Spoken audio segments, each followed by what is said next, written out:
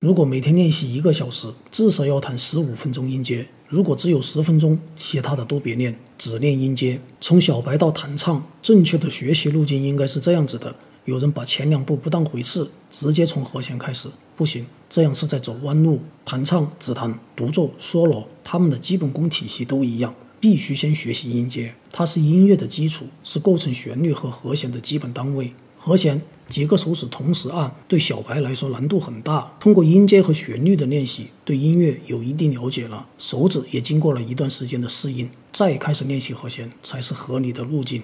不练音阶还有一个很严重的弊端，那就是没法了解乐理常识。托普弹、配和弦、八代、写歌这些想都别想了。音阶不是负担，而是非常重要的基本功练习。